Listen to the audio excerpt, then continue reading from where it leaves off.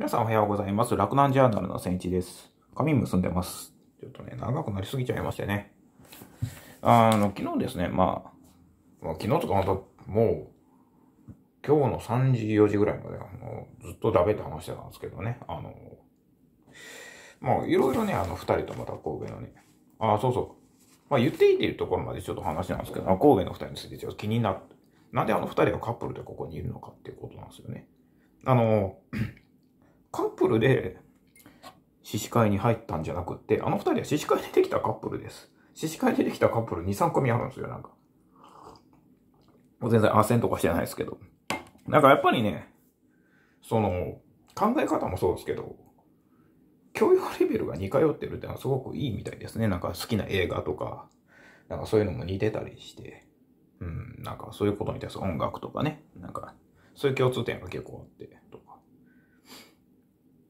なんか、そうなんですよね。僕はなんか別にキュービーとやったわけじゃないんですけどね。あの二人は、そんな感じですね。うんで、どこまで言っていいんだっけ？そうか。あの、まあ、その彼氏の方ってどうやって入っていたかっていうと、あのね、弟子にしてくださいって言ってきたんですよね。ブログ読んでます。弟子にしてくださいってって。今ほど、なんか、今ぐらいだちょっと余裕があったら、厳しいぞとか言うんですけど、余裕ない、えああの、弟子とか取ってないんでとか言って、あの、あの、獅子会って知ってますか？あの、僕勉強会やってて、あの、ブログ書いてるんですけど、あ、あ、知ってます、知ってます、みたいな。じゃあ、それに入る？みたいな感じで入ったんですよ、あいつは。加入しました、それで。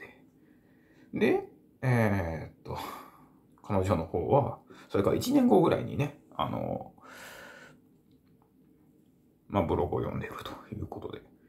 なんか、その時、2017年で選挙のなんか、ちょっと前ぐらいでなんか、ちょっと手伝えることないかみたいな。ちょうど、あいつ滋賀に住んでるね。滋賀なんですよ、住んでるのは。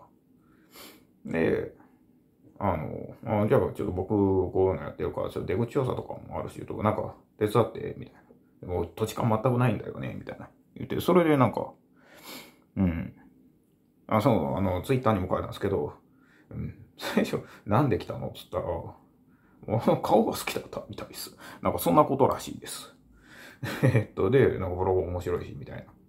うん。いや、もう、もっとわかんない、わけわかんないやついますよ。あの、銀玉の考察が面白かったから入ったとかね、獅子会に。いいの？それでみたいな。まあでもそれね、それ政治の勉強またやってくれてるんでね。いいんですけどね。なんかそれみんないろいろ、人生いろいろですね、本当またいろいろまとめてるんですけど、アメリカが分裂してどうなのとか、パンデミック債の話とか、またね、おいおいやっていきますんで、えーチャンネル登録のほどよろしくお願いします。とんちゃんもね。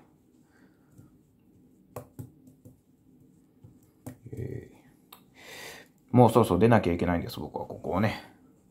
あとね、LINE してるんですけど、これ。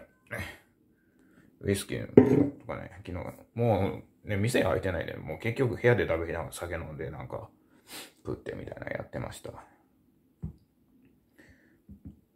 えー、っと、本当出なきゃいけないです、もう。チャンネル登録またよろしくお願いします。どんどんね、ネタを投下していきますね。ブログもそうですけど、あとノノートね、ノート、どんどんまたやっていきますんで。